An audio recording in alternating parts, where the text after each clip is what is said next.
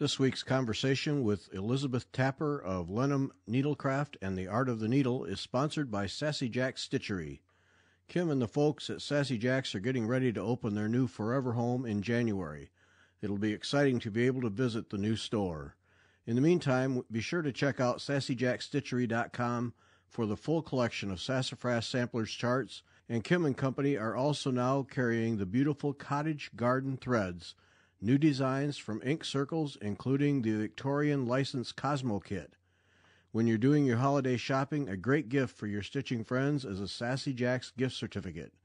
Make Sassy Jacks Stitchery your local needlework store by visiting the website at sassyjacksstitchery.com and plan to visit the new shop when it opens in January. And now, on to our conversation with Liz Tapper of Lenham Needlecraft and the Art of the Needle.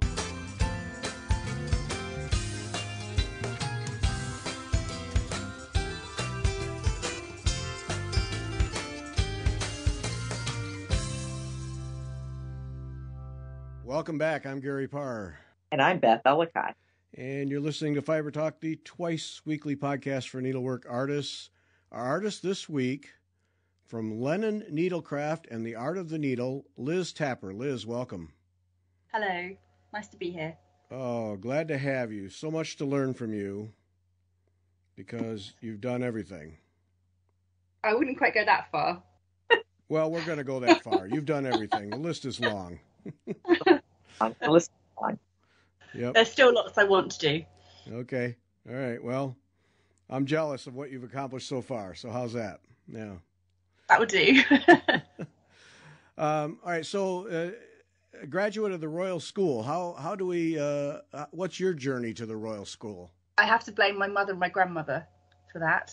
Okay. Um, I I did embroidery from a young age at home. Uh, my mum studied embroidery, needlework rather, at Teacher Training College in the 60s.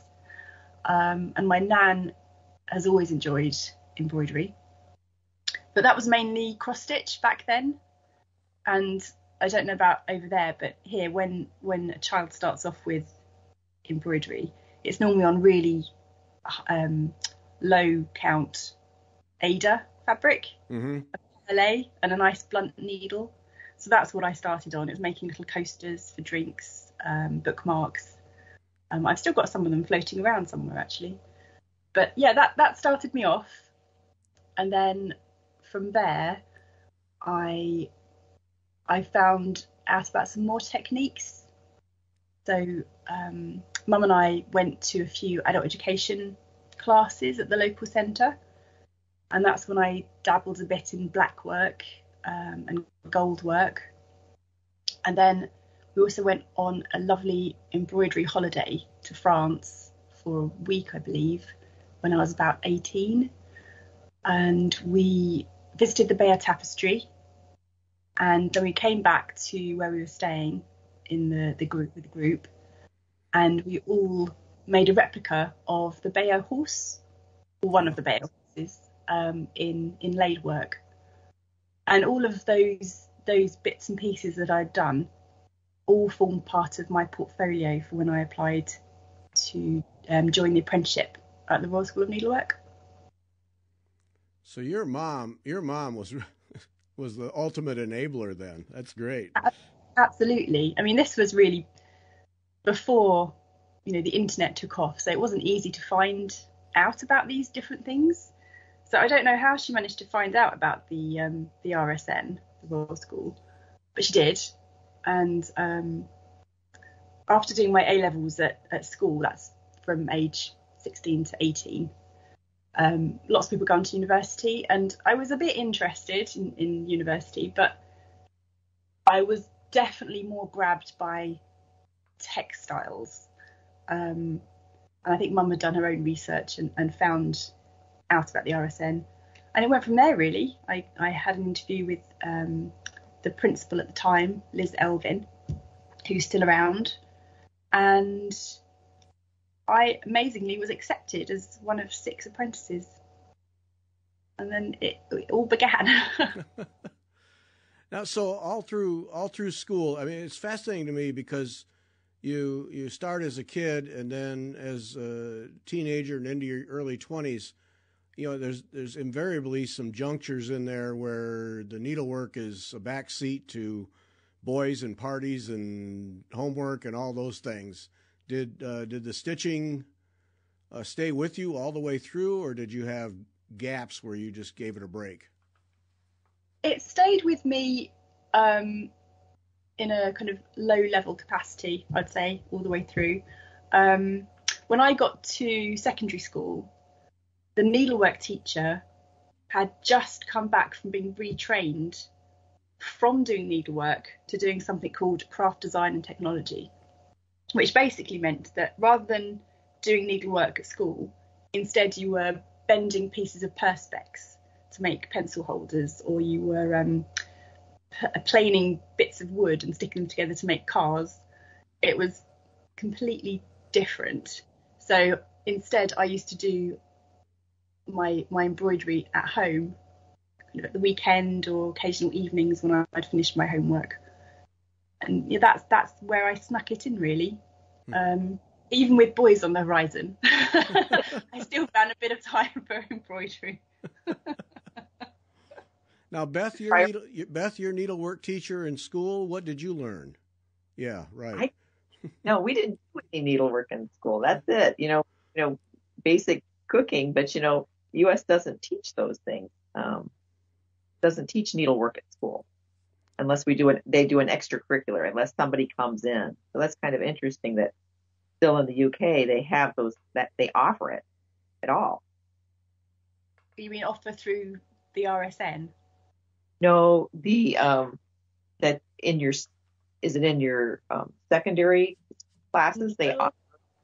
It, it wasn't in mine because she just retrained from doing needlework. Um, it's it loosely is present in school under textiles, but textiles can take the form of anything. So it could be sheets of metal, it could be wood, it can be man-made fibers, anything.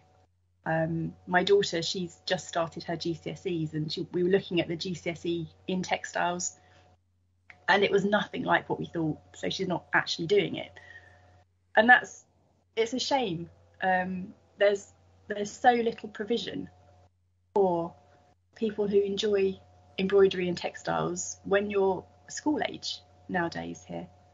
You know, my, when my mum was at school and my my nan, they did dressmaking, for example, and then they would um, embellish what they made with stitches.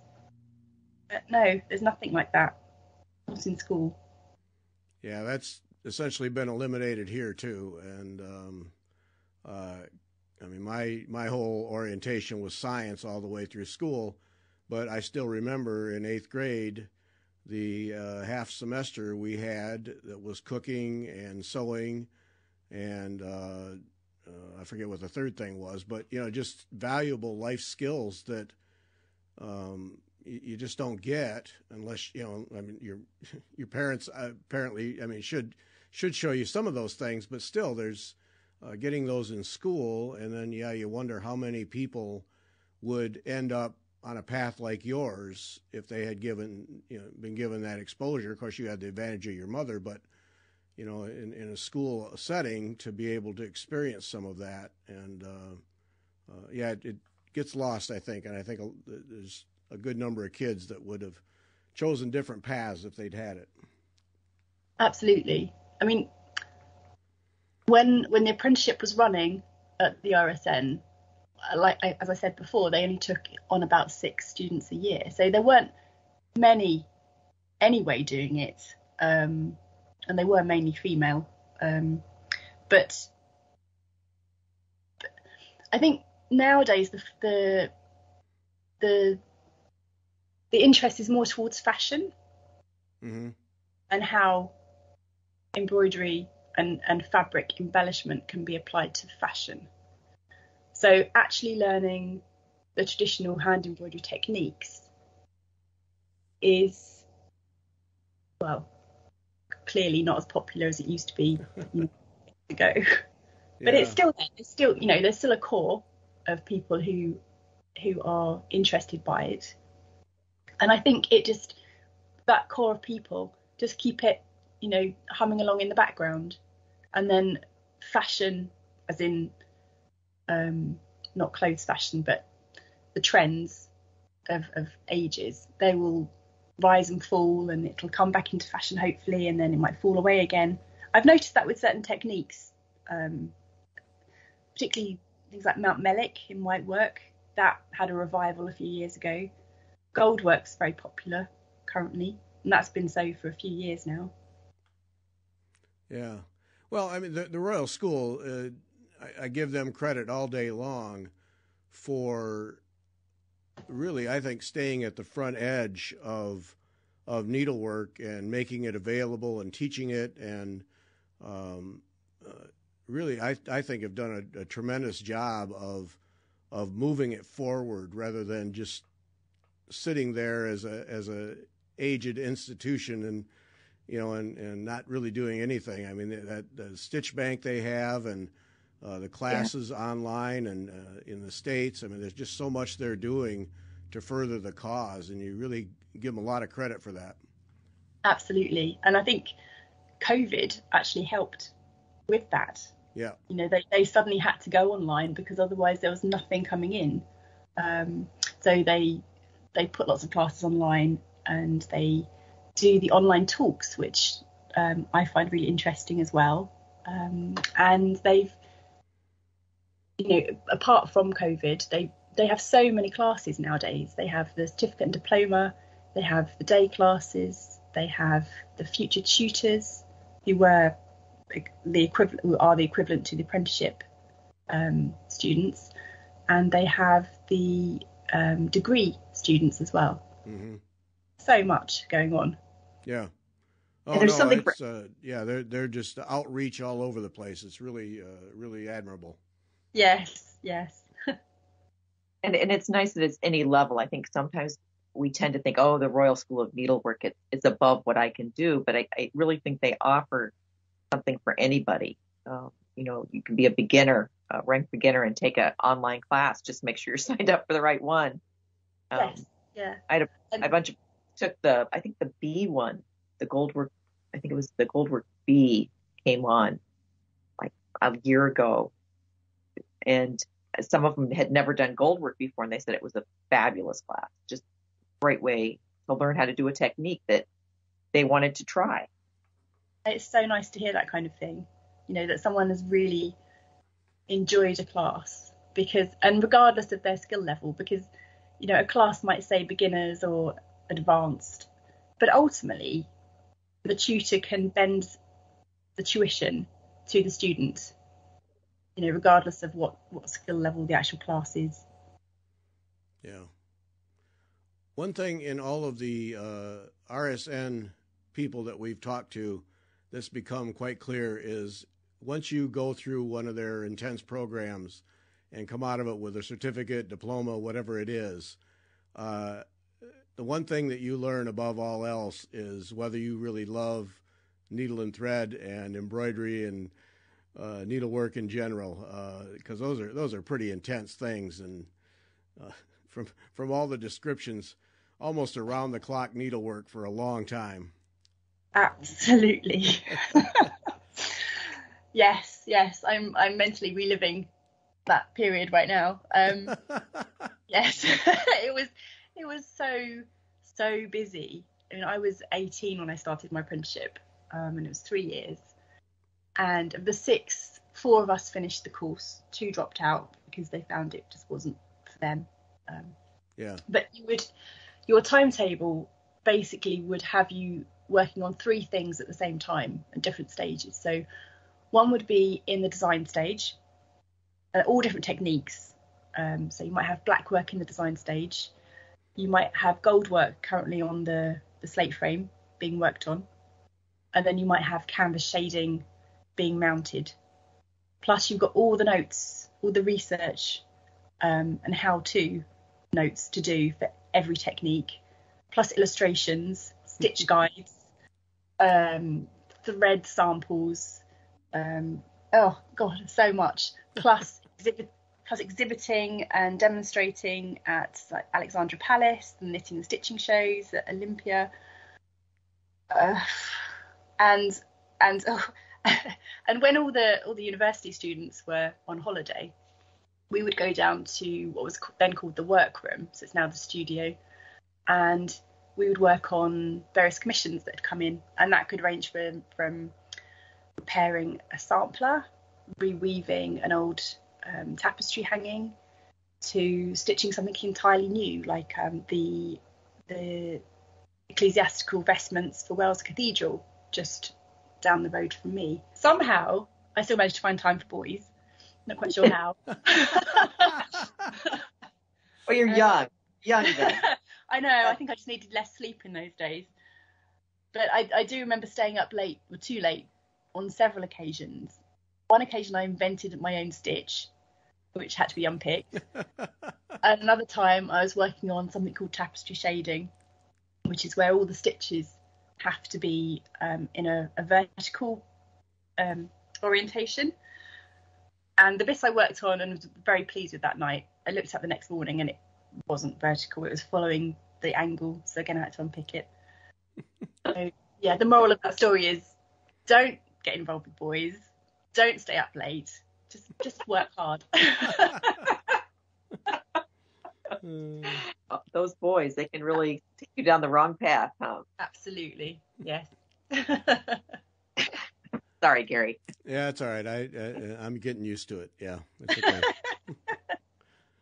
but it just it, it's so cool because you know when you just described all of that, what a what a tremendous broad exposure you get to all aspects, and uh, come out of there. I mean, you really come out of that with a, a full knowledge of needlework you know, regardless of, of what your skill level's at, and I'm sure by the time you're done, it's quite high, but uh, just your exposure alone is so valuable.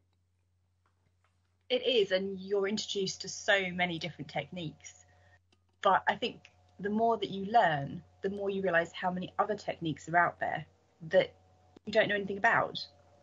You know, in in the world, every country has its own special techniques, and they're all wonderful and and we only know really a few of them.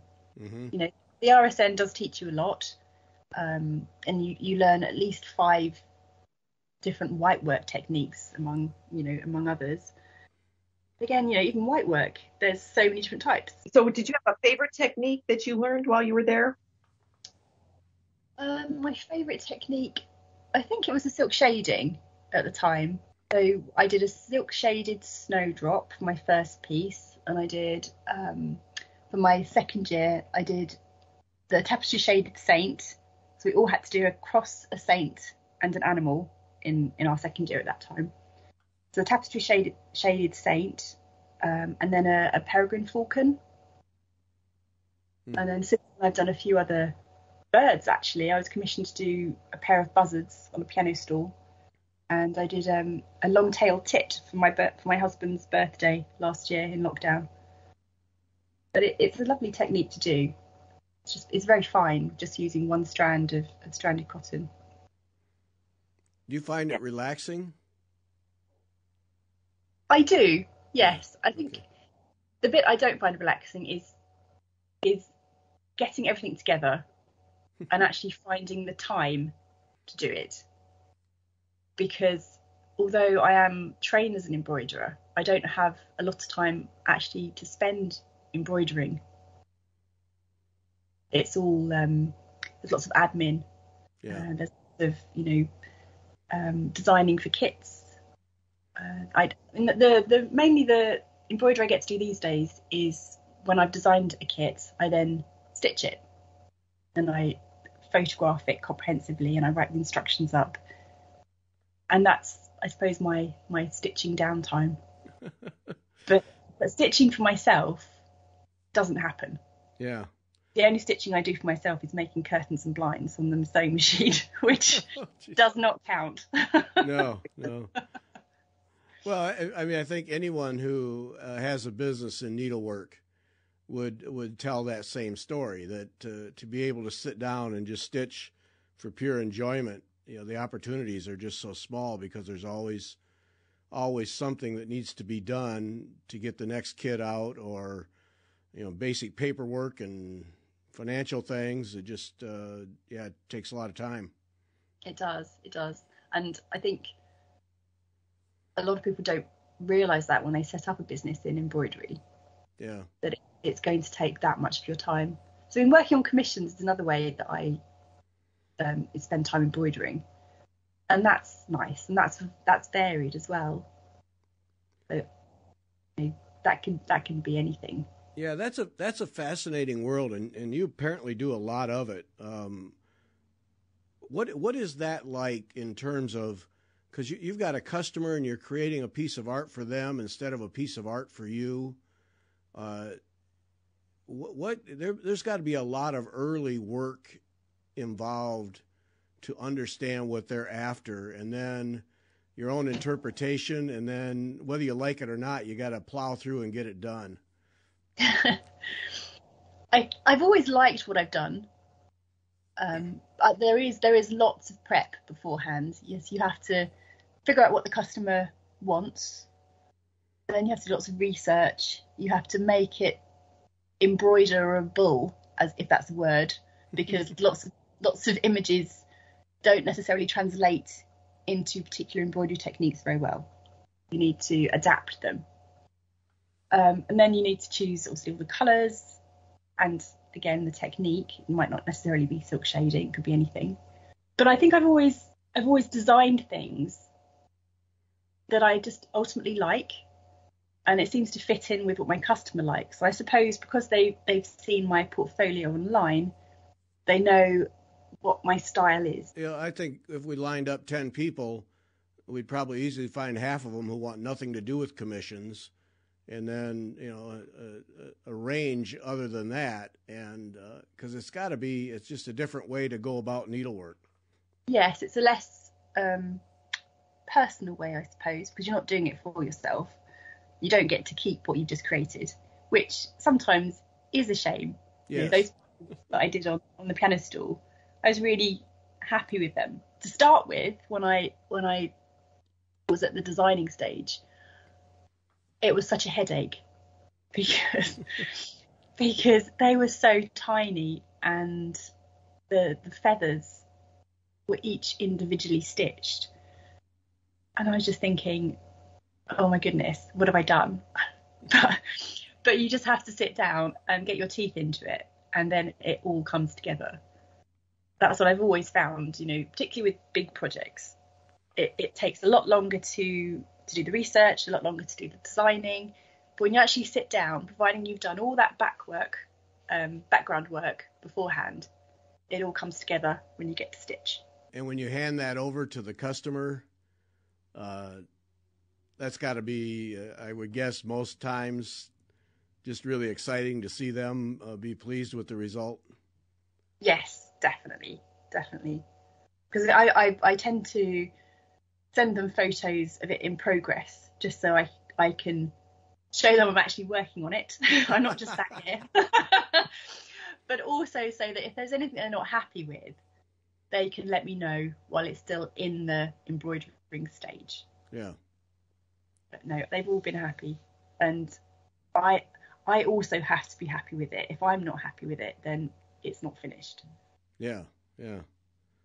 Uh, that's um, I don't think I'd have the courage to do that, but um, uh, you might be surprised. Yeah. yeah, baby steps. Okay. Okay. I'll so, put it. I'll so, put it on the list. so, how did you get the Napoleonic coat commission? I, I, that was just a beautiful goldwork piece that um, I saw the little PB the video that was interview that yes. was taped. Yes, I well, I I didn't know about anything about it until my client actually contacted me, and I think he had just googled goldwork embroidery on the internet, and my website came up. He had a, a look and got in contact, and it went from there. It was it was it's a multinational product, pro- project that's actually still in progress. Um, so he's British. He lives in Italy. Um, I obviously live in, in England. The threads are made in England. It's being shipped to Pakistan for the actual embroidery um, part of it, though I'd done all the design work and the, the sourcing of materials. And then it was going back to Italy for him to put together um, the dressmaking. And then it was going off to France for um, one of the Napoleonic reenactments there at one of the chateaus in Paris. So, so tell the story of that from from the beginning, though. It's it's a coat, a replica of a, a coat that Napoleon wore.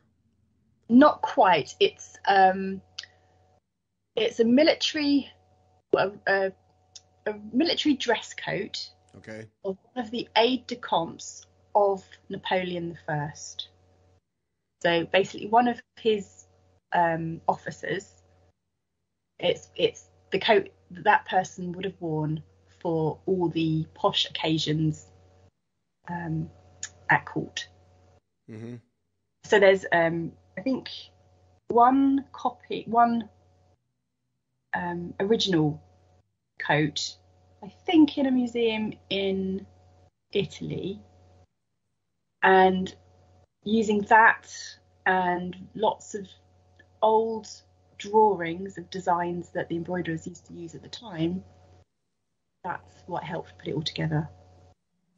But it was it's it's very detailed and very as it's military, it's very has to be very exact.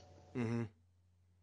So the purpose who who wanted this coat and was it was it for reenactments? Yes, so my client um, You don't Does have to, re- you don't have to name names, but it was somebody who uh, who wanted it for uh, reenactment things. Yes, absolutely. T- totally for himself. Um, he wanted to outshine the women at court in these reenactments because they have lots of gold man, man, you know. um, yes, so he wanted it for these reenactments. He said he'd had some done in the past, but they weren't. The quality wasn't as good. So he wanted to really go all out this time. Mm. So it really it should have been all done for this weekend. Actually, there's um, an, a, a reenactment happening at the Chateau Malmaison in Paris this weekend, and he was meant to be wearing it there, but unfortunately the postal service in Italy messed up rather, Oh. and and it didn't appear when it should have appeared. And um, so we missed the slot with the studio in Pakistan, and he didn't then have enough time to make it up.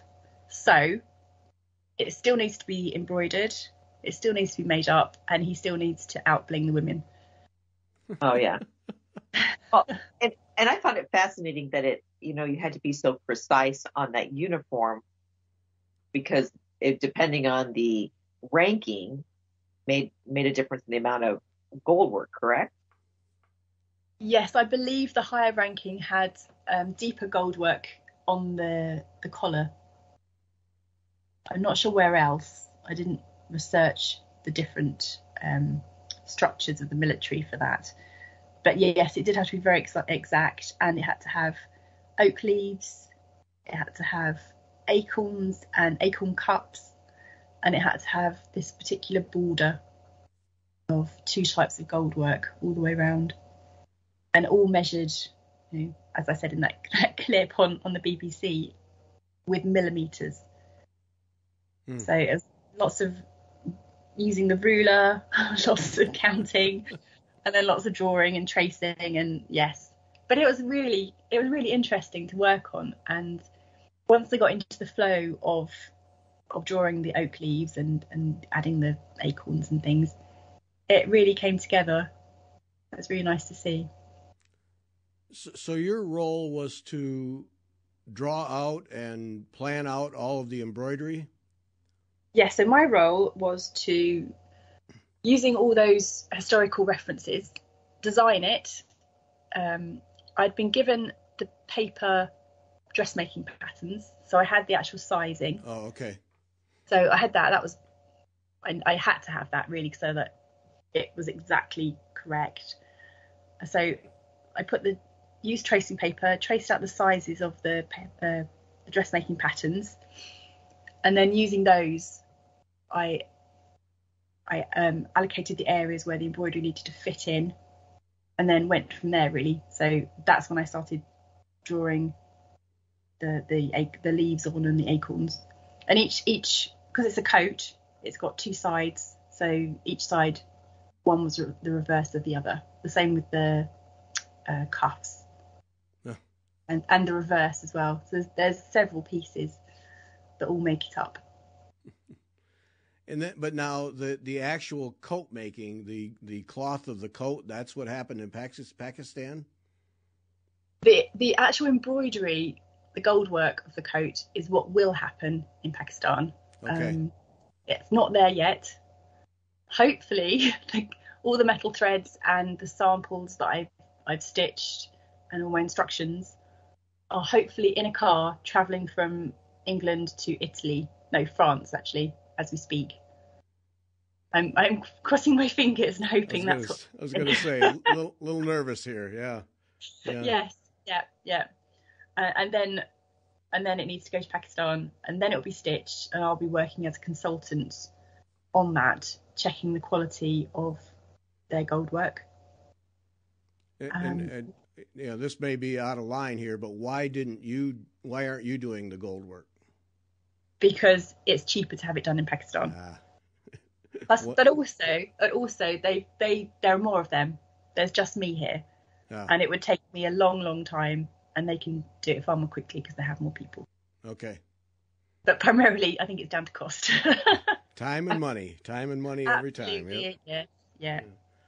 But then, but then, as they're doing it, they'll be sending you photos, and so you can check and uh, guide them.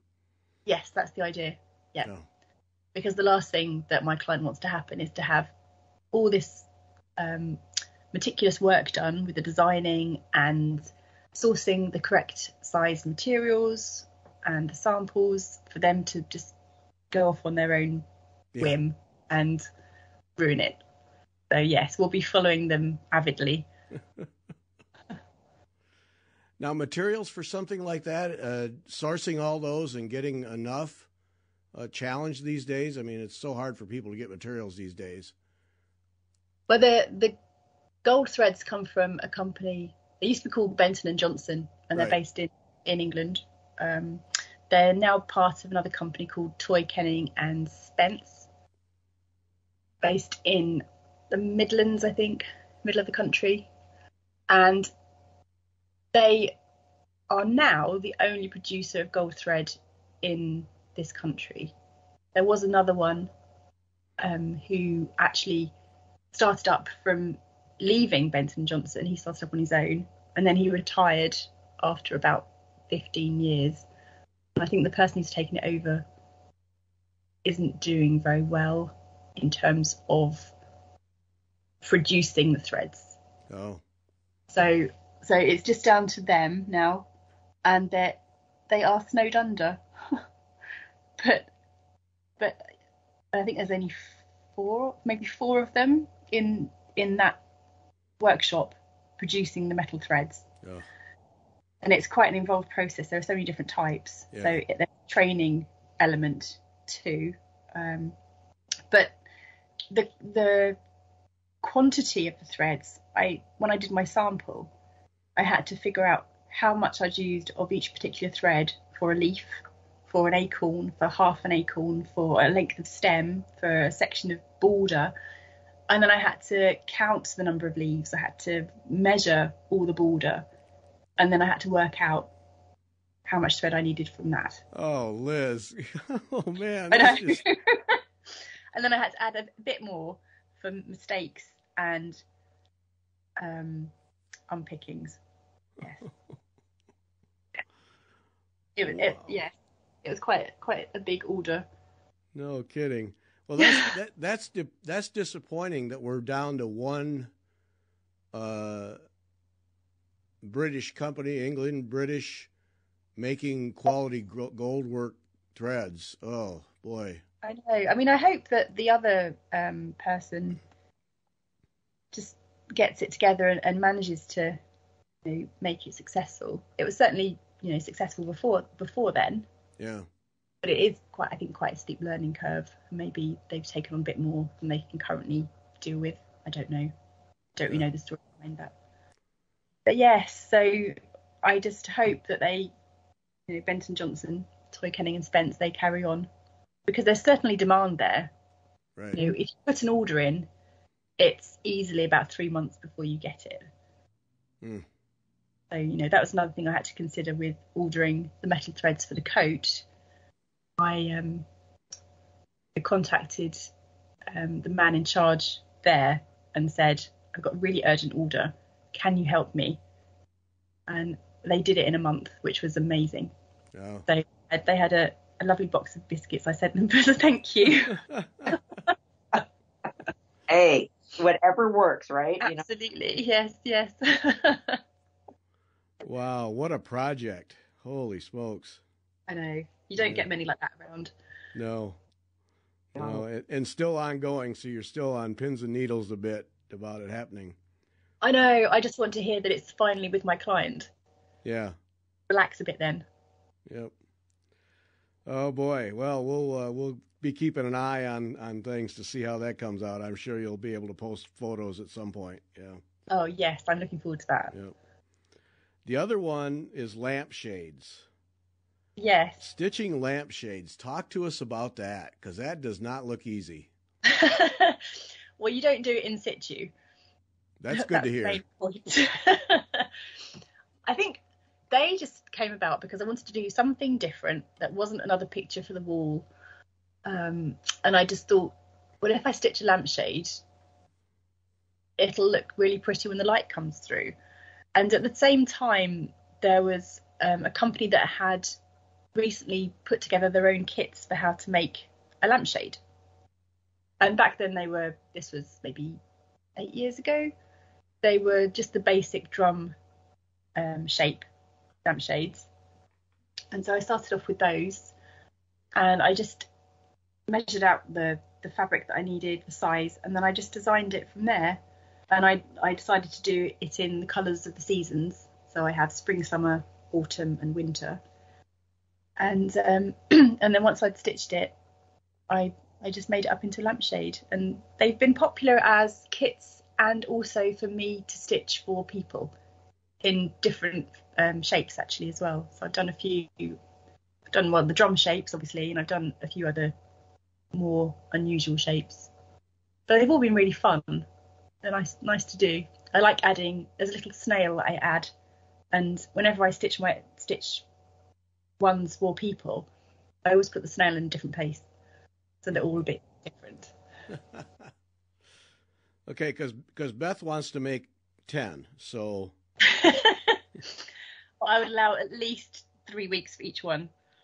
Oh yeah, no, no, more than that. I'm slower than that, and and and what intrigued me about them is that you know you're right. After a while, you get tired of okay, I can frame this, I can make it into a pillow, now what do I do?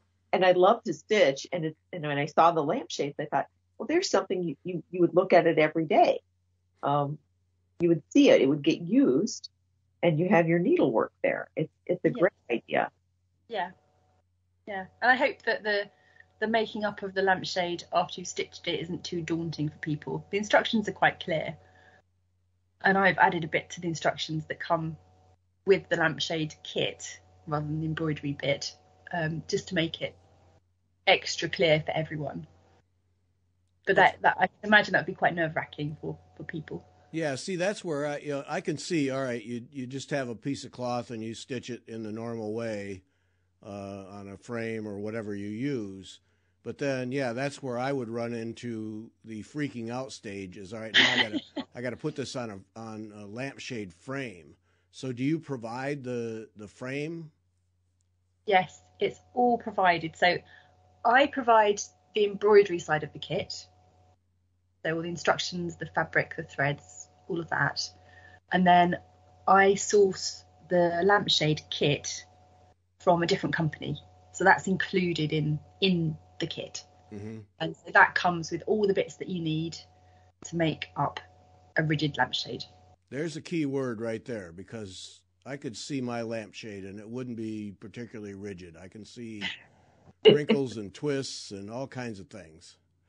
It's a bit you the the the lining is quite rigid that you you stick the fabric to.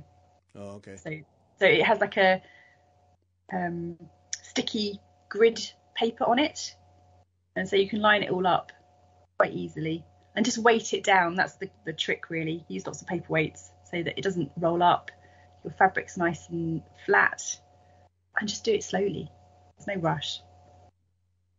And you can, you know, and if, and if you do find that there's a, an air bubble or something, you can just unstick it a bit and then stick it down again. So what do you use for the um for the fabric? Is that just normal? It's linen twill. So it's the traditional Jacobean fabric. It has a slight um, diagonal grain on it. And I'm only using that one because it is the, is the traditional fabric. You can use anything really that's quite um, tightly woven.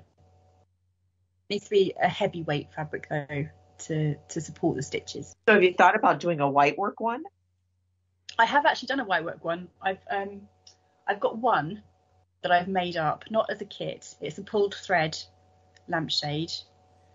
I think it's on my website. I can't remember, but it, it's quite expensive, so no one's bought it. But it's it's very pretty. Uh, it's on um, it's on like a natural coloured even weave linen with white thread for the stitching, and it's it's lots of different ivy leaves with um, the the stems and tendrils in a really fine leather cord that's couched down, and that looks really effective when the light's on because the light comes through the pulled thread leaves even more than the actual fabric. It creates all these little patterns. Beth, let's go. Let's go, Beth. I need another project. Yeah. Yeah, let's go. I think so. hmm Yep. But I think white white work, white work on white fabric for a lampshade, I think would just get too dusty. Yes. At, yeah, at my house with the cat, it would. yes, yeah, cats are a bit annoying sometimes. Okay, there you go, Beth. There's your next project right there. hmm Yeah. I'll watch. I knew you were going to say that. The other the other thing in your uh, designs are the uh, the mosaics, the needlepoint mosaics. Uh, the history behind those just fascinates me. Yes, I mean, there are. I think with those mosaics, they were discovered and then they were covered back over, which just sounds bizarre, but apparently it was the best way of protecting them. Um, and they were designed by a, a customer of mine who buys my my Appleton's wool, and she wanted to design these these cushions, and she was really interested in the Roman mosaics. And so I think she has four. I, I chose a couple for my my website, and yeah, they're really effective. Just the repeating pattern, but just the history. I think the history because they're all mosaics discovered in the UK, I believe, Fishbourne and I can't remember what the other ones were. But yeah, they're lovely. And they're all uh, Roman tile design then. Yes, they are. Yeah. Yes. Yeah, that's so neat because that well, there was there was something not too long ago where they'd found some in some farmer's field. It looked like it was six feet down that they found a, a, a tile floor that was essentially intact, and I that was my first thought was, wow, get that that pattern, get that pattern, yeah. I, I know I saw something on the news about a farmer. Was it in Syria? I can't remember where. Discovering one recently. Yeah. Yeah, they're out there. You just don't know where. well, the, uh, the the two that you have on your website are, I mean, it's really impressive stuff. Glad you glad, glad you're offering those because they're um, they're really nice. Yep. So what what is it? Uh, did did you start your business right out of the Royal School, or was there a period of trying things and then you decided to just do it yourself? How did, how did you evolve into uh, into your business? I graduated in '98, so a while ago. Um, and I know you mentioned earlier how the the course at the RSN either you leave it loving the embroidery or you just can't bear it any longer. Actually, it can be a bit of a bit of both. So after graduating, I spent about a year and a half, I think, um, teaching embroidery, working for the RSN, um, doing commissions, and then I just got a bit worn out. It was it was you know this was the you know the days before the internet was you know so so widely used, and it was hard to spread the word. It was hard to get commissions. Even it was hard to get paid, and Wow. it was it was all just hard. And I was 21, and I'd had enough. so so I actually um, became a PA, a personal assistant in an office, Uh-huh. and I did that for 10 years. Um, and I, I did still did a bit of embroidery at home, but it was actually that break was quite nice. And in the in the end, I found that my fingers are starting to feel itchy in a I must start stitching kind of a way. And that's when I started getting back into it again. Mhm. And that's when um, the art of the needle was founded. And that was really to do with teaching and kits and commissions. And then that ran for a few years. And then Lenham Needlecraft came up for sale. And I took that one on as well. I, I had actually been a customer of Lenham's myself. Um, and the lady who ran it was was a lovely old lady. And I always said to her, if you know, if you're thinking of selling, do let me know. And she did. And so I took that over about a year or year and a half before COVID hit. And that's kind of kept me going really. You know, the the orders come in all the time. And particularly during lockdowns, it was super busy. Yeah. everyone was wanting to do something. And the amount of people who said oh, i've just dug out this this needlework kit from the back of the wardrobe. I think i haven't touched it for about 30 years. I need some wool. Can you help? So that was really good. Really good. You know every, lots of people were saying oh, i've got nothing to do it's really boring it's really quiet. I was like i'm so busy. It doesn't stop. But you know that was that was really good. It was really good. Um bit tiring at times. But Yeah. it's it's really nice talking to all my customers as well. They're all so lovely because they're all like-minded. Right. and it's nice to chat about their projects and up to and how long they've been doing it for. You know i've got men and women from all walks of life all ages um, across the world actually who all you know use appleton's wool tapestry or crewel and they have all these wonderful projects on the go But it's just it's just lovely to, to, to chat to them and see what Yeah. they're up to Now, when you bought uh, Lenham, uh, did she have a physical store?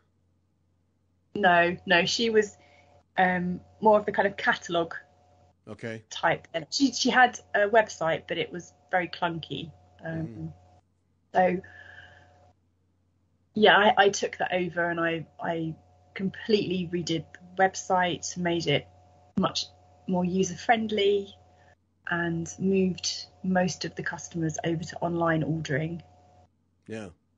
There's still some who who like to have an order form, you know, to fill in, or they call me up and order over the phone, and that's all fine. But it, it is quicker um, doing the orders on the website Right. and get more done that way.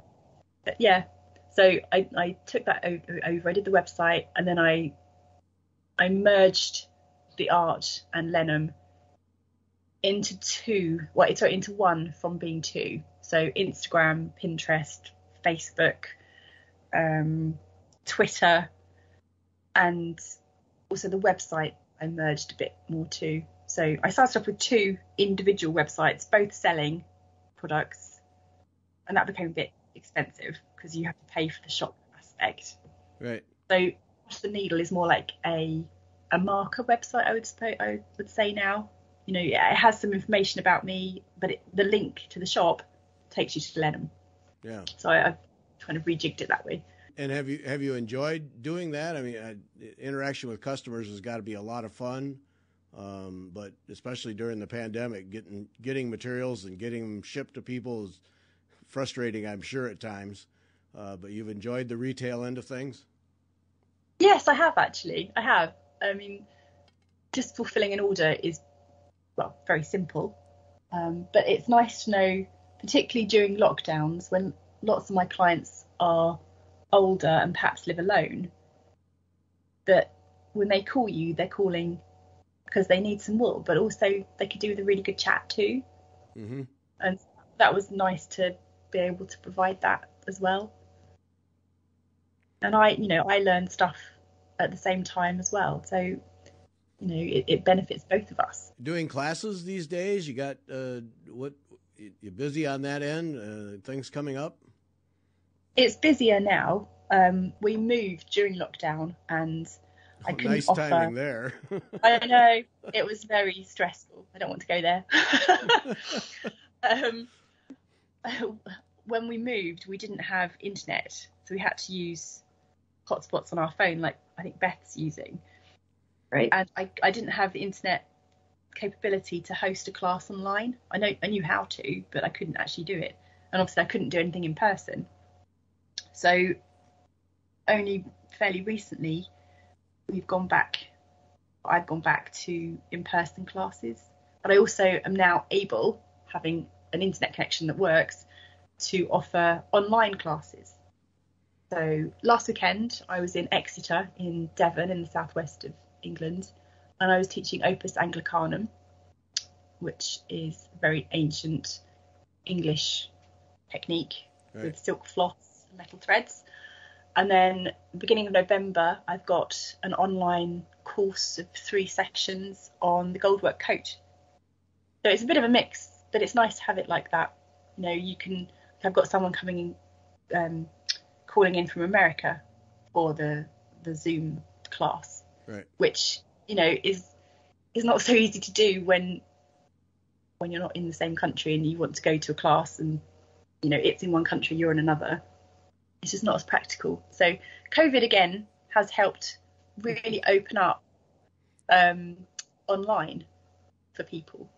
You know, the talks and classes. There's lots to choose from. Yeah, I was curious about your talks too. Uh, do you offer those on some kind of a schedule, or are they something No. that if somebody requests? it's more yeah as and when they're requested so i have i have a couple really not not very many but i have one on myself which which sounds horribly conceited but um that's what people like to hear about Yeah. and then i have another one coming up actually on zoom in america um on the goldwork coat again so you know that's something they particularly requested Yeah. so I shall deliver. When, when is Yeah. that? I think that is next year, so I've got a while. She's got a while. Yes. There's nothing like a deadline to motivate, I find. Yes. So we'll be able to we'll be able to take that class and and learn all about that coat then. You'll have to join the waiting list, I'm afraid. Oh, really? Already? Yeah, it's fully it's fully booked Wow. for the November class anyway. Not I don't know about the lecture. Um, I think that's that's one of the guilds in in America who who asked me to do that. But yes, the the Goldwork coat course online is currently fully booked, but I have a waiting list and there are names on it already. So if I get enough interest, I will run it again. Wow, good for you. They spread the word. That's great. Yeah. yeah. You uh, are you uh, tutoring wise? Do you have a space where you can have people come to you, or do you go to them? How do you work with that? people can come to me. I've got space here and good light. I, I run a, a regular monthly session, like for two hours, where people come with a range of embroidery techniques and have a chat and a coffee, and they just ask me for any help they need or any advice or fabrics or materials. And yeah, that's just a nice kind of chat along session, really. And then I sometimes, I haven't done it in this house, but in my last house, I did run some classes from home, like whole day classes. I think one was in gold work, one was making a brooch. So I I will do that again. Again, it's just getting round to it, finding enough time in the day to organise everything. Yeah. Right. Sleep sometimes. That's the, that's the that's the problem. I know, and I need sleep. it does help. It does help. Yeah. It, it, does. I'm quite grumpy otherwise. Well, Liz, thanks so much. This is uh, what a fascinating little journey you've had here. It's been fun. It has been fun. Hard yep. work, but fun and enjoyable. Yep. Well, thanks yeah. for doing this, and thanks for every, to everyone for listening.